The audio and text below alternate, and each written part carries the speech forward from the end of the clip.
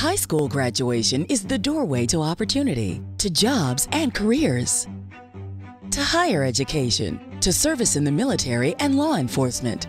Third grade reading holds the key to that door. 74% of students who do not read on grade level by the end of third grade will not catch up in time to graduate with their class. Every year, more than 80% of low income children miss this critical milestone.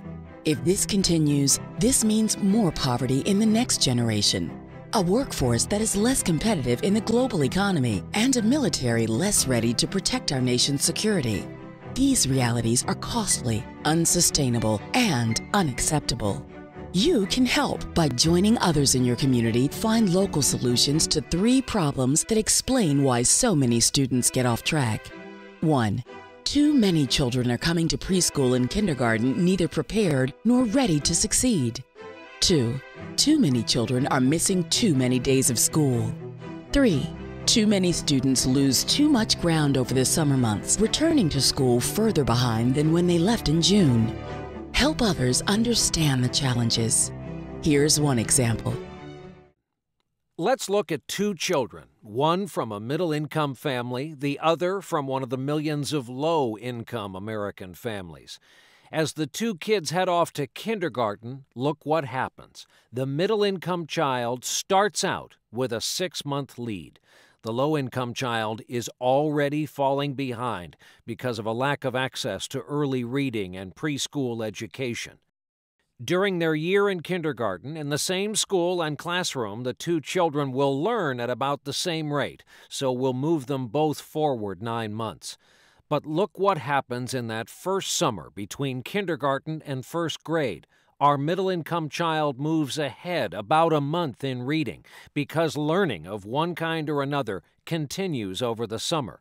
The low income child falls back about two months so when school begins again, when they go back for first grade, the gap between them has already widened. By just the third grade, the two children are already far apart. By the end of fifth grade, the gap between the children is two and a half to three years. It will keep growing through middle school. So you see, without addressing what's happening during the summer, it is impossible to ever catch up. It's impossible to close the gap. No matter how much high quality learning goes on from September to June, every year the gap widens. Nationwide, as many as 7.5 million students miss nearly a month of school every year. That's 135 million days of lost time in the classroom. In some cities, as many as one in four students are missing that much school. Chronic absenteeism is a red alert that students are headed for academic trouble and eventually for dropping out of high school. But poor attendance isn't just a problem in high school. It can start as early as kindergarten. By the time they reach third grade, some of these students may have missed out on half a year of class time with serious academic consequences. Many struggle with reading and fall behind in math. Chronic absence is a particular problem for children from low-income families who face challenges year after year in getting to school. Once they recognize the problem, families, schools, and communities can do a lot to improve attendance. If there is a problem of asthma or dental care, health providers can help. If the walk to school is dangerous, neighbors can organize safe routes. If children are moving from apartment to apartment or are homeless, social workers can connect these families to the support they need. And we can all help by sending a message that going to school every day is the key to a brighter future for our children. We all know our kids won't succeed in school if they're not in school. So we need to work together, parents and families, schools and community organizations, to end chronic absence and ensure that when it comes to academic success, every day counts.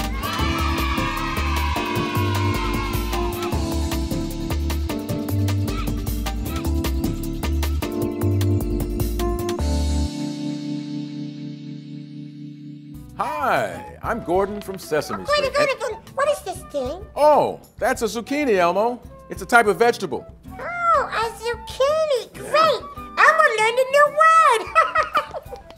Did you know that it's important for children who are entering kindergarten to know and to understand lots of different words and that they can learn them from everyday conversations with the adults around them? oh, oh, oh Gordon, Gordon, how about mm-hmm. this thing? Oh, that is a spatula, Elmo. It's, it's a tool that's used for cooking. Spatula. Elmo learned another new word, baby. So, help build your children's vocabulary by reading books together, telling stories, and pointing out and describing all the interesting things that you experience together every day. Ah, Gordon, a, a little help. Oh, that is a kiwi, Elmo, a yummy fruit. Kiwi, booyah! Another new word and a snack for later. All right. Every moment with your children is a learning moment.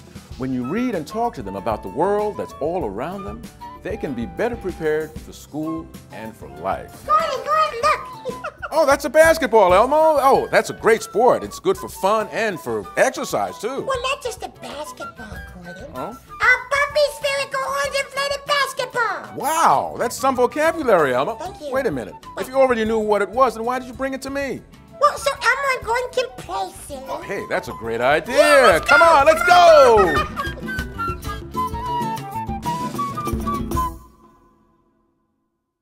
You can make a difference. For more information, please contact the Campaign for Grade Level Reading at www.gradelevelreading.net.